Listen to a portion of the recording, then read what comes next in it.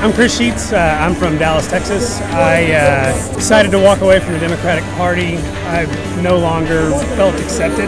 Uh, I no longer felt that they were a part of me.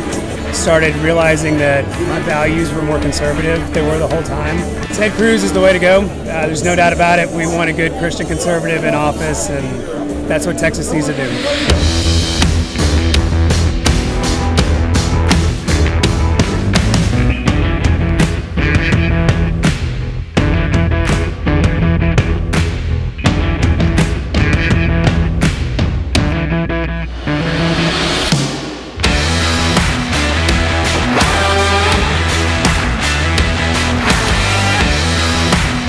Youth unemployment is the lowest in 52 years.